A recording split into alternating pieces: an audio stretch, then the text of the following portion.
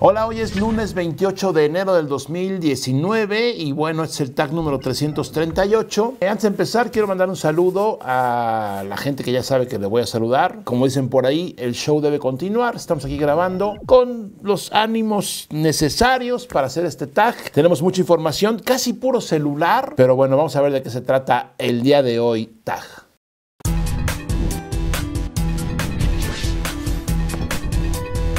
Y bueno, pues empecemos con esto que es la compañía Vivo. ¿Te acuerdas del, del teléfono que le salía una camarita?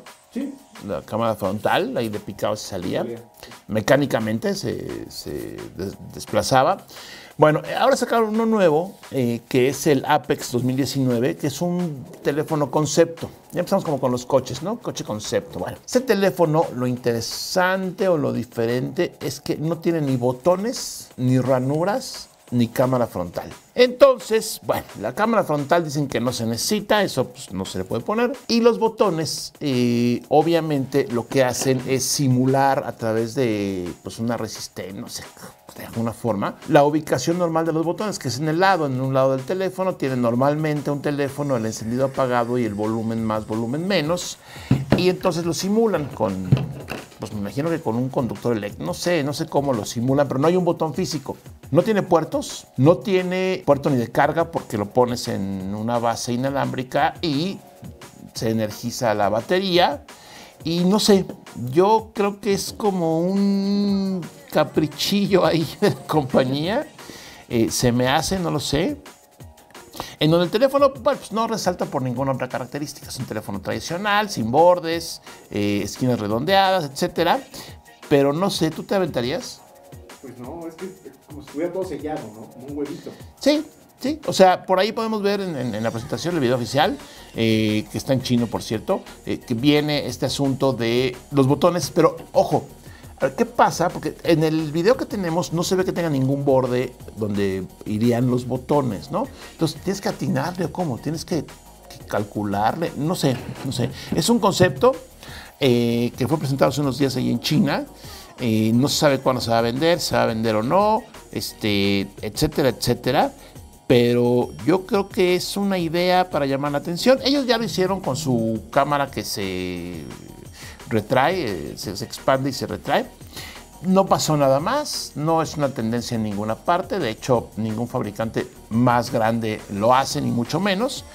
Eh, pero no sé, yo creo que esto está bonito como concepto, pero aquí lo más importante es escuchar que tú nos digas, bueno, leer, que tú nos digas qué opinas, cómo verías un teléfono sin ningún botón. Ahora, ojo, eh, no hablan mucho de la ranura SIM. Si te pones a ver el video así cuadro por cuadro, se ve por ahí una, pues la apertura típica, ¿no? Muy, muy este, discreta. Pero eh, sería para que usaran el eSIM, ¿no? El SIM electrónico. Pero con eso el problema que tienen es que no se puede usar en cualquier parte. No en todas las geografías existe, ni todos los operadores tienen esta, este eSIM disponible. Pero bueno, este es el Vivo Apex 2019. Concepto muy bonito, muy interesante, sin ningún puerto, carga inalámbrica. Suponte que estás fuera de tu. Bueno, el cargador que presentaron es muy parecido al del eh, Apple. ¿Cómo se llama? El Watch. Es un como circulito muy pequeño. O sea, no es una base grande. Entonces, bueno, pues igual te lo puedes llevar y seguramente. No sé si se imante, no lo sé. Estaría bien. Eh, también tiene lector de huella digital en cualquier parte de la pantalla. O sea, tiene buenas cosas, pero este asunto de sin puertos, no sé, está complicado. Y bueno, continuando con la telefoniza, eh, aquí te enteraste en 1.0, por supuesto, y aquí en TAG lo comentamos, los nuevos eh, Galaxy M10 y M20. Ya tenemos los, los modelos, porque era nada más la serie M, ¿no?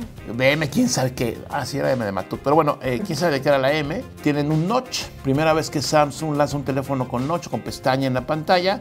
Cámara dual. Y aparentemente aquí el asunto importante es el precio, que es un precio económico. Y aparentemente es lo que se rumora por ahí. Quieren competir contra, obviamente, una línea de Huawei y obviamente una línea de Xiaomi, con equipos... No es que Samsung no tenga equipos económicos, sino que es una línea, digamos, con más prestaciones, con un poquito más ¿qué será? Elegante que las otras series que tiene Samsung.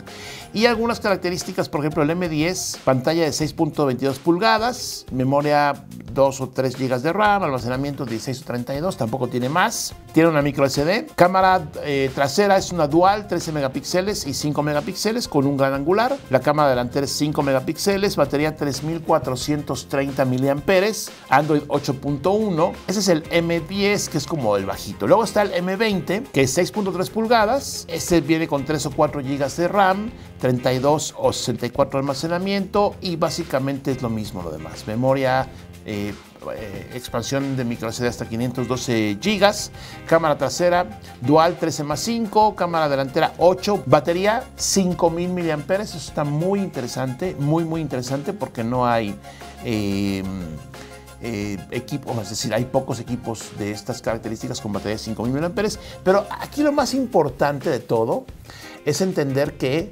según parece, dicen, que esta serie M va a estar enfocada únicamente a venta en línea.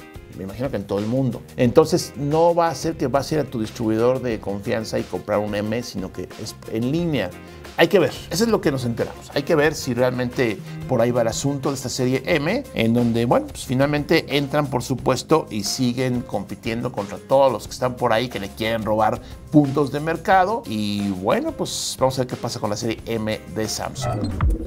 Como les avisé y lo prometido no es deuda, más celulares en esta edición de TAG. Motorola eh, regresa con el G7, esta línea G, en donde ya se filtró así por completo todo. Lo lanzan en México, eh, creo que en febrero, en 7 de febrero o 10 de febrero, ya dentro de muy poquito. Lo lanzan, de ahí estaremos seguramente. Y bueno, pues finalmente aquí los, las características es lo más importante. Está el G7 Power, que es el primer modelo. Pantalla 6.2 pulgadas. Eh, trae un Snapdragon 633.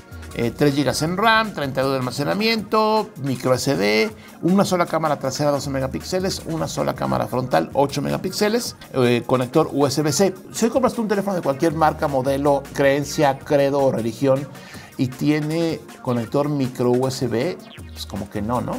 Como de la vieja guardia, como que no evolucionó. En este caso, estos nuevos G7 ya son eh, USB-C. Este teléfono que es el Power, como su nombre lo indica, 5000 mAh la batería, lo cual pues, está, interesante. Que recordar que Motorola desde hace mucho tiempo usa, si no, si no es Android One, es algo muy parecido al stock Android, ¿no? Nada más le pone por ahí unos iconos de unas cosillas de Motorola y es básicamente, no hay gran cambio, o sea, finalmente es la evolución de esta línea. Luego está el Moto G7 Play, 5.7 pulgadas, un poquito más chico, e igual Snapdragon 633, 2 GB con 32 de almacenamiento, cámaras igual, una cámara trasera 13 megapíxeles, una delantera 8 megapíxeles y este tiene batería de 3000 mAh y por último está el Moto G7 solito. Que es 6.24 pulgadas. Este tiene más galleta en la pantalla, resolución 2270 x 1080 píxeles. Eh, igual, este, bueno, este es un Snapdragon 632, 4 y 64 de almacenamiento, cámara dual trasera, 12 eh, más 5, o sea, tiene más cosas. Eh, aunque la batería es igual 3000 mAh, entonces bueno, ahí habrá que ver cuál te conviene o no. Todos con conector, conector USB-C y a ver, déjame ver cuándo es el lanzamiento. Yo lo tengo aquí apuntado. La cosa es que lo encuentro, ¿verdad? A ver, vamos a ver. Obviamente no lo encuentro. Pero eh, aquí, por supuesto, tendrás toda la información de precio, disponibilidad y todo lo que tiene que ver con este lanzamiento de Motorola. Y bueno, pasando a otros temas, dejando un poquito los celulares ahorita de lado, ¿te acuerdas hace como, qué será, año y medio, poquito más tal vez, que Amazon nos apantalló con su dron volador, bueno, si es dron vuela, ¿no? Con su dron entregador. Sí, que lleva los paquetes hasta tu casa. ¿Qué tiene dos años? Más. ¿Más? Sí. ¿Tres años? Chance. Pues no sé cuánto tiempo.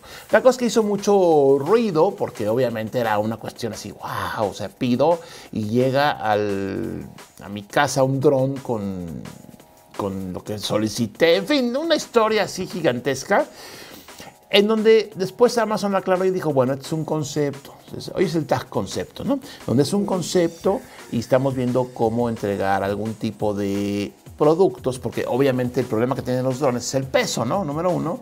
Y segundo, de, acuerdo a en qué geografía o latitud vivas, está el asunto de la seguridad, ¿no? ¿Dónde te dejan el, tu paquete? Vi un video el otro día que me lo recomendó Pablo, mi hijo, de un cuate que eh, está harto que le roben sus paquetes de... ¿Ves que los gringos te dejan el paquete afuera de tu casa? Afuera de la casa y tú llegas en la noche y lo recoges. En algunas colonias hay ratas, como en todo el mundo, y a él le robaban sus paquetes. Entonces inventó y en el paquete puso todo una- un mecanismo para que al abrirlo saliera como medio confeti, no, no confetista, como brillantina. Eh, Un rollo, muy bueno el video, tiene millones de views, no sé cómo se llama, pero ahí está. Porque quería básicamente cachar a los ladrones, además de verlos, le puso a la caja un GPS, entonces sabía dónde estaban. Y, y- y el video explica todo cómo hizo las cajas. Está muy, muy padre el video, pero bueno, esa es la historia con los paquetes de Amazon que se roban. Hace unos días lanzan Amazon Scout, que será como Boy Scout. Bueno, el explorador de Amazon, donde es un vehículo, o sea, un carrito, como decimos aquí en México, que hace entregas. La cosa es que ahí, en ese ambiente, seguro funciona bien un Amazon Scout, porque no hay nada, no hay eh, ningún peligro, el clima es perfecto, eh, y sobre todo no hay mal horas, ¿no? Que se, que se lo roben, porque el carrito va por la banqueta, lo que podemos ver de este video, va por la banqueta y llega a tu casa, y cuando llega a tu casa te avisa en tu celular, ya llegó, sales tú, se abre la puertita, sacas tu paquete y es un mundo feliz. Lo cual, pues no necesariamente es igual. Por ejemplo, aquí en esta ciudad sería imposible colocar ese, ese equipo. Deja tú por los ratas. ¿Por dónde circula? No hay banquetas en las calles, en muchas calles. En muchas sí hay, pero en muchas no hay. Por poner un simple ejemplo. Entonces yo creo que son ideas muy bonitas que hace el departamento de ideas de Amazon, eh, que en algunos lugares muy puntuales tal vez sí. Y otra cosa de este Scout que me llamó la atención es que qué capacidad tiene de entregar. O sea, no se ve tan grande. Luego pides unas cajotas a Amazon que, que- que finalmente tiene que llevarlas a alguien porque son muy grandes o tal vez muy pesadas. Pero esto seguramente está hecho para entregas de productos eh, físicamente más chicos, que no pesen mucho. Y bueno, pues finalmente es eh, un sistema de robots que se llaman Scout, que son de Amazon y que yo creo que como los drones hace unos años, será una muy buena idea. Y bueno, siguiendo de la pista a todo este asunto de los teléfonos flexibles, posiblemente enteraste que estuvimos en el CES en Las Vegas hace un mes y ahí conocimos uno que era FlexPay, ¿o ¿cómo era FlexPay? Un teléfono flexible que estaba bastante raro porque se doblaba pero no quedaba bien plano, parecía como una hoja, una hoja de papel que la doblas y no la haces así, sino que se queda con ese como pues, que lomito ahí. Entonces bueno, ese era el Flex, FlexPay, ¿no? Bueno, ese teléfono. Resulta que Bin Lin, que es el presidente y cofundador de Xiaomi, se puso ahí de, pues, de creativo y lanzó un video que posiblemente hayas visto, si no aquí está, donde eh, lo tuiteó, bueno, lo, sí lo tuiteó eh, Donovan Sung, que es otro funcionario de, de Xiaomi, donde sale el, eh, este señor, que es Bin Lin, con un teléfono, una como tableta, y lo está usando y está ahí entrando a ver cualquier cosa eh, sigue usándolo, todo está súper estudiado el video, ¿no? Y eh, a dos cámaras ahí, todo el asunto, y de repente lo dobla, pero lo dobla de los lados. Entonces, eh, de hecho, primero lo gira y luego lo dobla. Está bien, es el video, obviamente lo que se puede ver, esto es un producto que está funcionando, estéticamente mucho mejor que el otro que les presentamos, pero lo que yo no entiendo es qué pasa con la parte de abajo del teléfono que sigue siendo pantalla. Ah, estás tú viendo así, ¿no? Tú, lo que tú quieras. queda atrás. Estás viendo tag, ¿no? Y de repente lo cierras, o sea, lo, sí, lo doblas y esta parte de aquí, pues queda aquí atrás. Claro. Híjole, ¿a poco le va a hacer así? No, se va a rayar horriblemente. Es un concepto. Este año 2019 conoceremos muchos conceptos de teléfonos flexibles, tal vez no estén a la venta, pero bueno, este es uno de ellos. ¿Te gusta, no te gusta? ¿Te late un teléfono flexible como este? ¿No te late para nada un teléfono flexible? Eh, invito, te invito a que en el comentario, en los comentarios nos pongas qué, qué opinas. Y bueno, en la parte de comentarios nos dice Yarif Rodríguez, ingeniero Matuk, debería ser un 50 cosas sobre usted. estaría bueno. Que ese es como de los youtubers, ¿no? Sí. ¿Pero qué dices? Me ¿No has visto gusta. el de Morphe? No. Es épico el de Morsa, Sí, pero Morsa es youtuber. Sí, claro. Morsa es todo un, un fenómeno youtubesco y yo no. Entonces, este, ¿qué, sé- qué, diría? Me gusta el café negro. Uso lentes porque no veo bien de cerca. Me gustan los mouses inalámbricos. 47. Hay que llevar... a- pues, no. No, a lo mejor ahí lo, lo- lo padre es que la gente pregunta. Después, In- in- ¿Incluyen las que tienen que ver con mi pelo? sí, nosotros decidimos si las ponemos o no. Híjole, pues no, no me late. Sí. No me late ahorita, o sea, vamos a ver si después lo no, hacemos. pero sí. No pongan preguntas en los comentarios, por favor, porque no voy a contestarlas. Este, pero bueno, Fernando Alucar, las fotos que más parecido tuvieron fue usted, señor Lord Matuk, el querido y apreciado Moped y el sabio señor Alberto Villanueva. Enrique García, me parece una super saturación de celulares cada año, sin importar la compañía, sale un nuevo modelo y las innovaciones son cada vez menos. Memoria RAM de almacenamiento, colores y cámara, sin algo que realmente distinga entre uno y otro. Es excesiva oferta, veremos qué tal la demanda. Saludos Matuk. Fat and Furious. Le faltó una S, ¿verdad? Sí. Comentario escrito. ok. Este, Enrique, sí, así es el, así es el, el mercado. O sea, es como los coches. Los coches cada año hay nuevo modelo y le cambia el colorcito del foquito, que o sea, no, no cambian radicalmente. Lo que pasa es que los celulares en muy pocos años evolucionaron mucho. ¿no? Entonces, bueno, hay que acostumbrarse un poquito a que si tienes un teléfono de hace un año, dos años, está perfecto. Si te funciona, no tienes que cambiarlo, no tienes que. Ahora, si tú quieres, lo puedes ir a cambiar. Pero falta innovación, no. Yo creo que fue mucha innovación en muy poco tiempo y ahorita estamos como desesperados. Queremos ya otro teléfono que haga algo que falta, por un lado. Y por otro lado está el asunto del negocio. Si siguen vendiendo teléfonos a lo loco como están, ¿para qué le cambias? no? Deja que se sigan vendiendo, pero bueno, es otra historia. Andrés CGA, ingeniero, retomando el tema del sensor de presión del Note. Sería interesante que hicieran algún video de mo- mostrando los dispositivos, gadgets, equipos nuevos que se han empezado a comercializar o ya se comercializan en el sector de la salud, al igual que un análisis de qué nos podemos esperar en un par de años en la medicina o apoyo a la salud con aplicaciones de la tecnología. Ya que cada día vemos que la tecnología aparece en cosas muy cotidianas, como los, son los celulares y sus sensores de ritmo cardíaco, y ahora pruebas de beta de medición de presión arterial. Saludos. Sí, Andrés, el último que vi, bueno, lo que pasa aquí, quisiéramos tener los equipos para probarlos, pero bueno, no, sé, no es tan sencillo, ¿no? Y hacer un video de cosas que vimos en un video como que no es nuestro estilo. Entonces, eh, lo que sí me enteré, porque una, una persona que yo conozco lo tiene, es un brazalete que te pones aquí y te mide, además de la presión arterial eh, constantemente, si pones tú eh, tu brazo, tu mano y lo tocas, algo hace con un electrocardiograma. No me.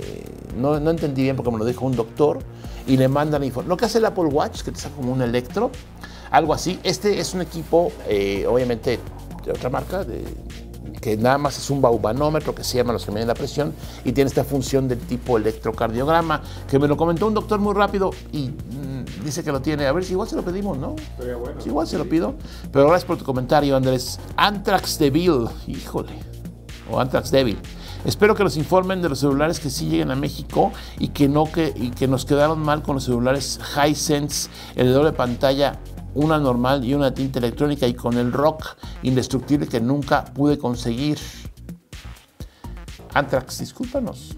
O sea, nosotros damos la información que nos llega. Si la compañía decide no traerlo, no es bronca de 1-0, ni bronca tuya, ni bronca de nadie. Simplemente no lo trajeron.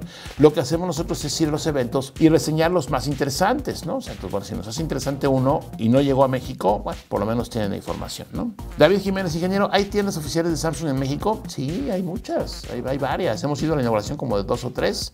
Recuerdo una en el Centro Comercial Santa Fe, otra en el Centro Comercial Perisur, otra, no me acuerdo, eso es en la Ciudad de México. Pero este, le buscas tiendas Samsung, seguramente, creo que eran como ya 18, ¿no?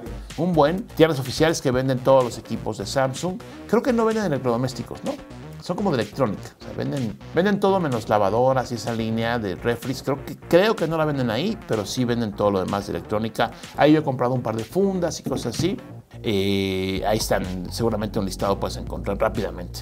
Emanuel Rivera, Sir Matuk, asesino de computadoras, ¿cree llegar con vida al 10 Year Challenge del 2029? Lo pregunto porque con todo lo que se atasca en el CES cada vez se ve más difícil, jajaja.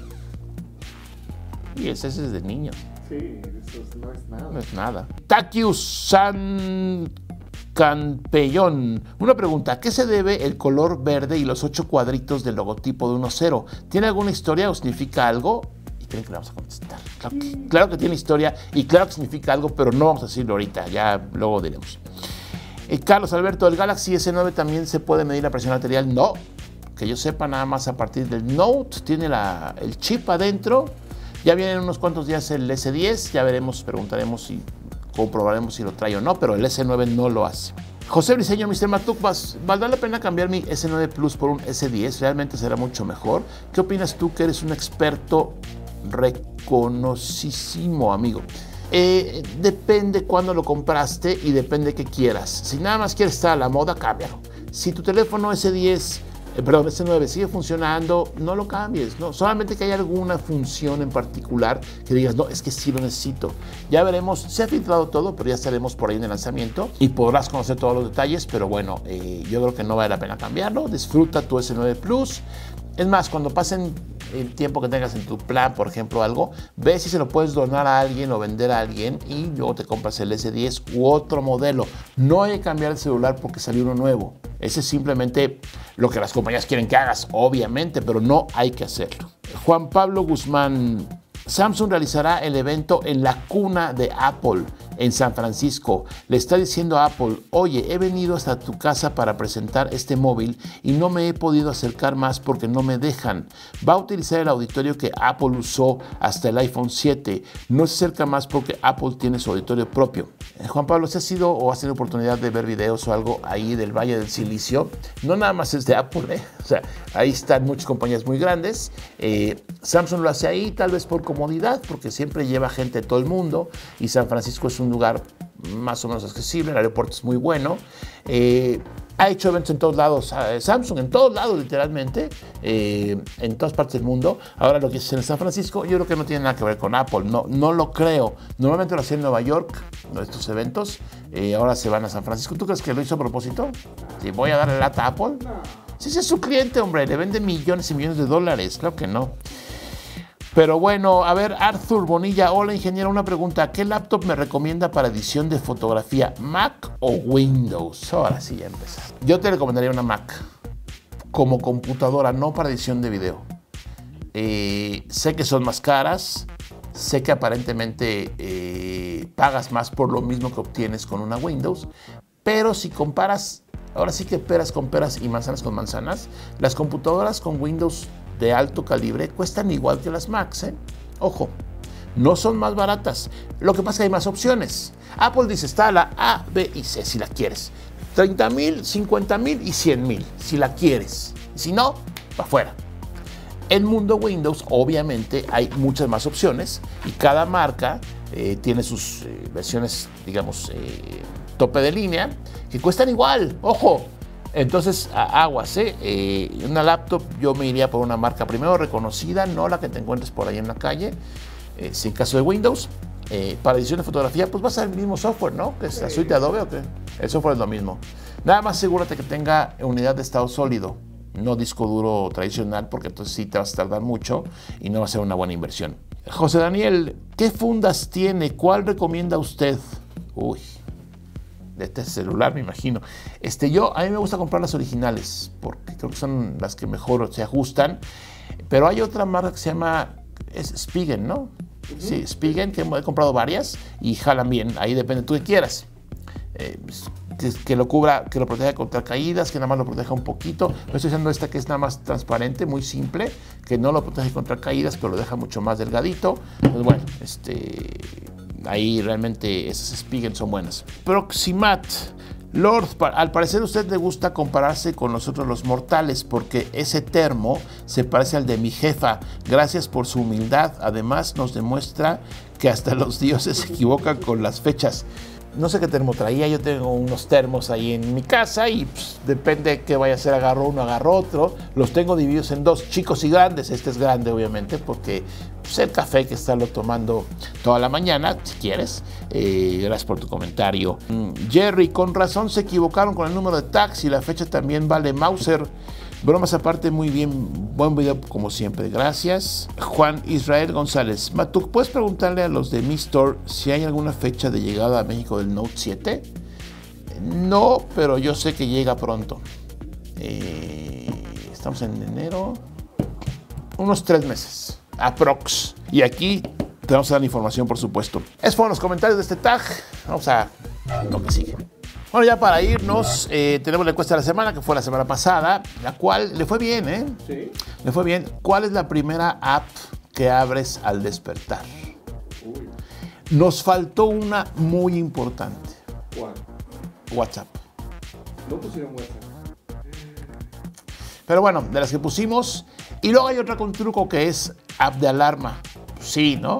Si usas tu alarma, La primerita. técnicamente contestando ortodoxamente, pues es la alarma, la apagas, ¿no? La primera app. Pero bueno, fuera de eso, 22% Facebook. Luego ganó eh, Instagram 15%, luego Twitter 14%, después un empate entre el email y Spotify. Eh, interesante, ¿no? Porque finalmente, eh, pues sí, duermes. ¿Quién no duerme junto a su celular? Sí, yo sí. Tú duermes junto. Pues, en el burocito. Por eso en el buró. Sí, ahí está la carga, lo, lo conectas y te jetea, perdón, y descansas, ¿no? Este, entonces, bueno, al despertar, obviamente, yo, yo lo veo y creo que lo primero que veo es cuántos mensajes tengo de WhatsApp. O sea, cuántos, ¿no? Si son dos, tres, ya. 38, pues algo pasó, ¿no? O sea, o un tema X o algo. Pero bueno, eso es básicamente la encuesta de semana. Eh, y esto eh, llega a el final, este tag del día de hoy, eh, insisto, lunes 28 de enero del 2019.